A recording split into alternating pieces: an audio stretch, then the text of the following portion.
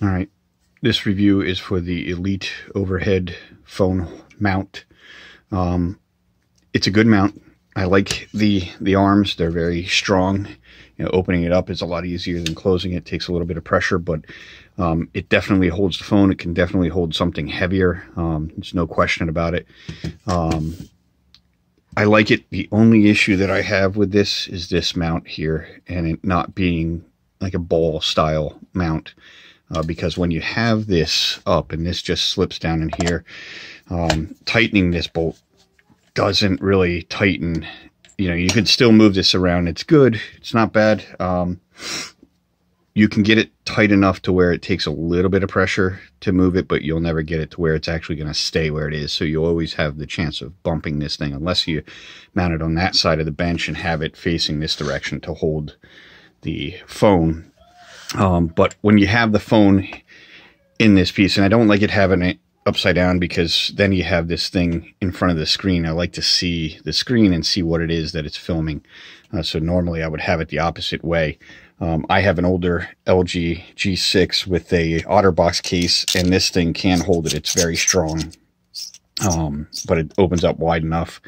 I'll put the measurements in the description. I think it says it in their description. So, um, but you also get this piece here that mounts it to the bench. I think you have about two and three quarters of an inch between this piece and the top.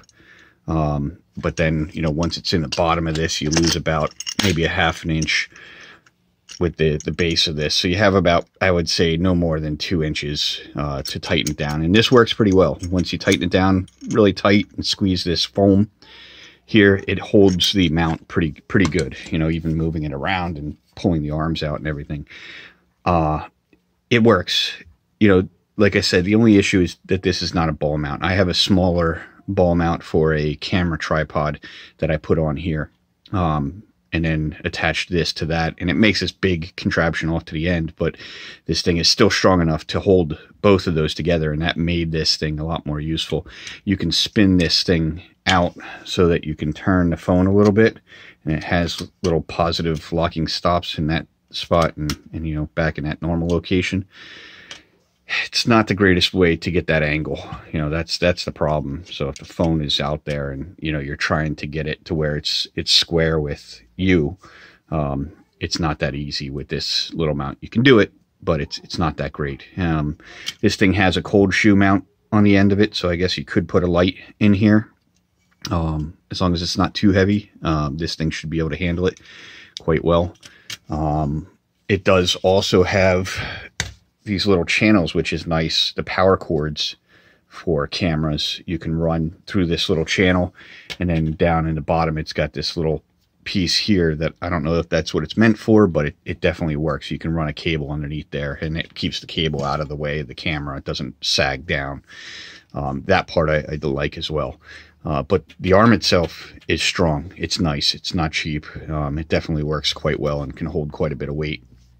I like that it doesn't have the springs on the outside. I have an older light, a work light, um, that has the older springs on the outside, and the thing does not stay up very well. It definitely can't handle a lot of weight. Um, and this piece here, you have to tighten this down quite a bit if you have something heavy on it. Otherwise, it moves quite a bit. Um, and then you know, tightening this piece on is a little tricky as well. It loosens up on me every once in a while, moving it around. But, um, you know, if you use a, a small pair, I use a, like a Leatherman, and once it's on there, I tighten it with the Leatherman, grab it and spin it so that it, it tightens nice and tight against this thing and holds it in place quite well.